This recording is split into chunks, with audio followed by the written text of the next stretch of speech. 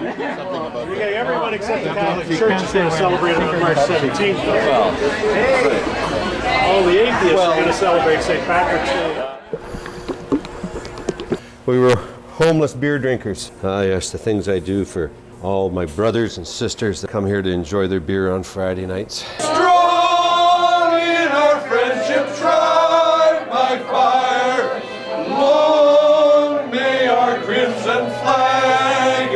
Inspire.